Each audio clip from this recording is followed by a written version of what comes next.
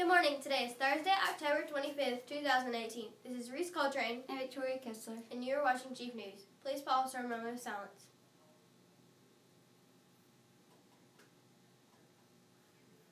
Thank you.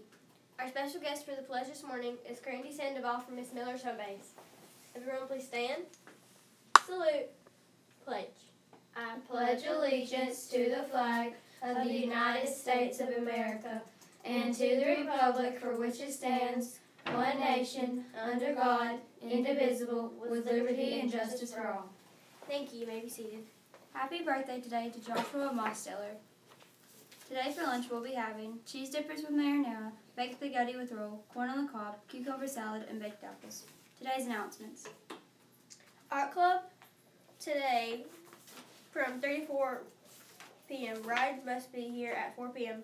Looking forward to another great afternoon with WLMS artists. Don't forget to sign up. Any student wishing to play basketball for WLMS, either boys or girl, girls, there will be an interest meeting next Wednesday, October 31st during tribe time in the cafeteria. The book fair continues today. Bring your money and come shopping. And now special announcements. Okay, guys, tomorrow's the big day for the Monster Mash. Um, just a few reminders for those of you who've already bought a ticket.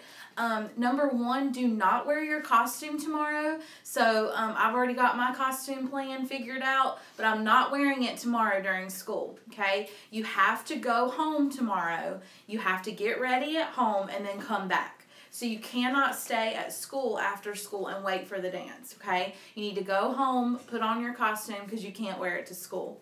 Also, we planned this so that you would be able to go to the football game if you wanted to, but you cannot just walk to the football game. Your parent needs to come and get you and then take you to the football game, okay? If you have any questions about that, please see me um, and I will be glad to help you. Thank you.